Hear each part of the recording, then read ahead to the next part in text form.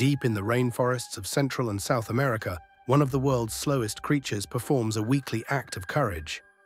About once every seven days, a sloth climbs down from its tree, a journey that can take nearly half an hour just to poop.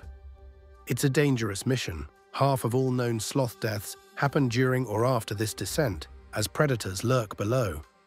From jaguars to snakes, anything that spots a sloth on the ground sees an easy meal. Once it's safe, the sloth begins a peculiar poop dance, swaying and digging a small hole to do its business.